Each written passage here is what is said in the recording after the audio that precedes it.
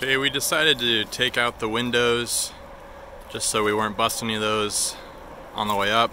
They were uh, single pane uh, leaded glass, pretty old, and didn't want to ruin those.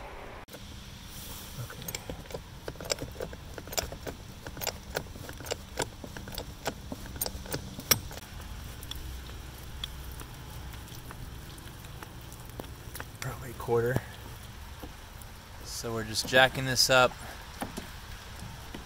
from the ledger, quarter inch until we can get uh, the buttress under there, under the slab, or over the slab.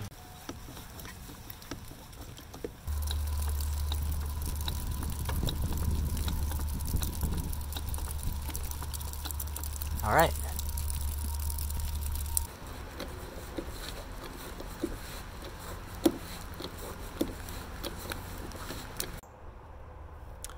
Here's the buttress we put in on the uh, load bearing side, and you can see we blocked underneath. We're actually lifting it on the inside with a floor jack until we get it up high enough.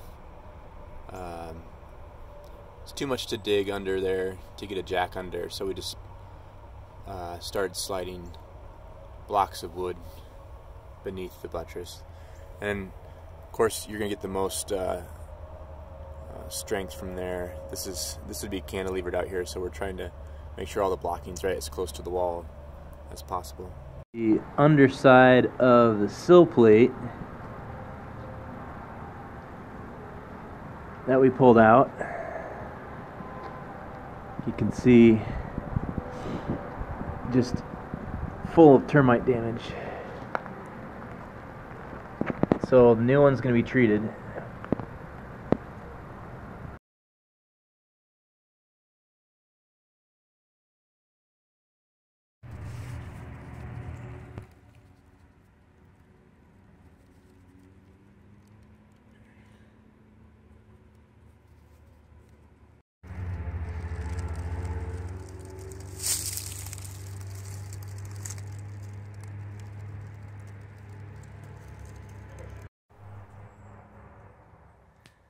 There it is, the garage jacked up uh, just a couple of inches.